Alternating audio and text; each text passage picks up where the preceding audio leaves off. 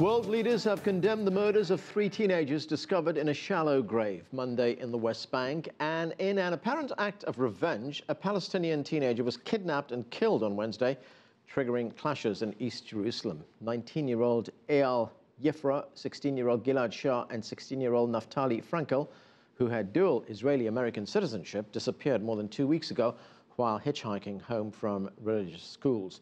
Israeli investigators say the teens were shot and killed within a few minutes of getting into a stolen car that was later found abandoned and burned. Investigators believe the abductors had planned to trade the boys' bodies for Palestinian prisoners in Israeli jails. Thousands gathered Tuesday to remember the teenagers. Israeli Prime Minister Benjamin Netanyahu delivered the eulogy at the funeral and spoke about the nation's loss. This day has spontaneously become a national day of mourning. The whole nation prayed for the boys to come home, and the whole nation saw the nobility of spirit.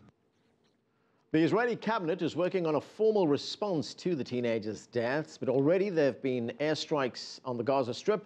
The Palestinian leadership also met Tuesday night to discuss the implications of the recent events. President Mahmoud Abbas has strongly condemned the kidnappings we're now joined by CCTV's Roee Ruttenberg, who's following the latest developments, and he joins us from Tel Aviv. Roy, tensions are rising even further. We've had the three teenagers killed. We now have a Palestinian teenager killed. Protests on the streets. What's the latest?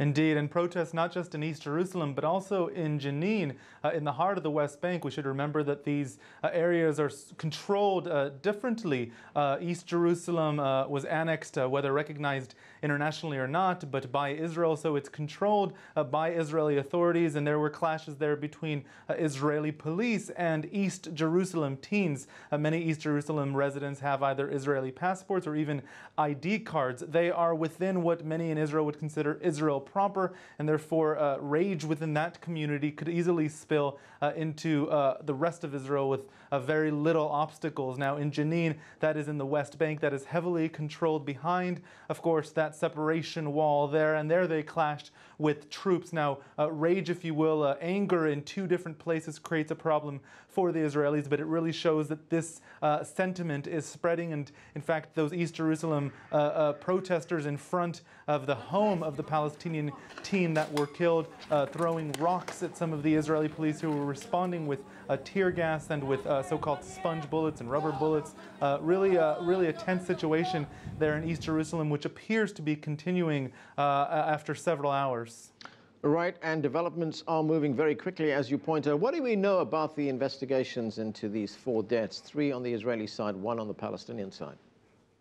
Well, Israelis are, uh, the Israeli officials are looking for the uh, people that they believe responsible for the abduction and killings of those three teens. Uh, they've, they've identified two men that they believe are Hamas operatives, but what we've heard from the Israeli uh, government, all the way at the top from Prime Minister Netanyahu, not just now, but even before the bodies were found, uh, is that they hold not just the operatives responsible, but Hamas as an organization, both in the West Bank, its institutions there, and in Gaza. Now, uh, in the last 24 hours, Israeli officials uh, released the emergency call to emergency responders made by one of the teens uh, as he was abducted, in which he says, I've been abducted. And then you hear uh, some words in Hebrew and then some words in Arabic and what appears to be uh, gunshots fired and then sounds of pain. That, of course, uh, was received quite dramatically by the Israeli public and has put more pressure pressure on the Israeli government to respond.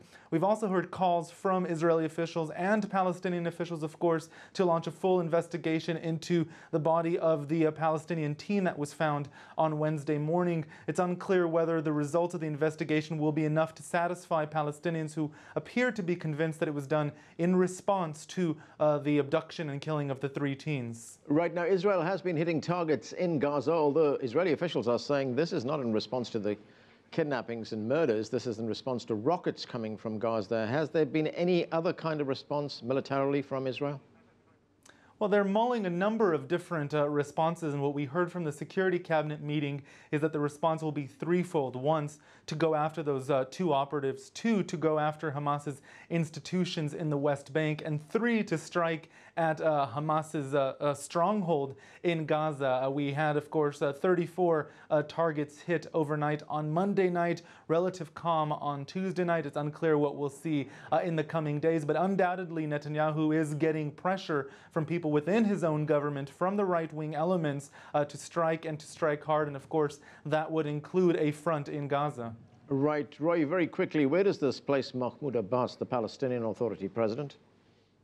Very tricky situation. I know we often talk about uh, the the bad things that happened, but there were some things that should be noticed uh, when, uh, uh in fact, the Palestinian president urged Netanyahu uh, to condemn uh, the killing of the Palestinian teen. Netanyahu did that today. It's unclear if he did it because Abbas, Abbas asked him to, or if he was going to anyway. But it should be noted that Abbas took a step uh, speaking to foreign ministers, Arab and Muslim foreign ministers in Saudi Arabia, where he uh, where he basically uh, uh criticized uh, the abductors of these Israeli teens and said that they should be released, referring to them as human beings. That took many people by surprise. Abbas is in a difficult situation. He not only represents, of course, the Palestinian Authority in the West Bank, but also the PLO, the body that represents Palestinians around the world. He's in a tricky spot, and of course, he has no army to Now, he also has to deal with Hamas, and we've heard Hamas officials call for assistance already from Turkey. That would, of course, expand this to a much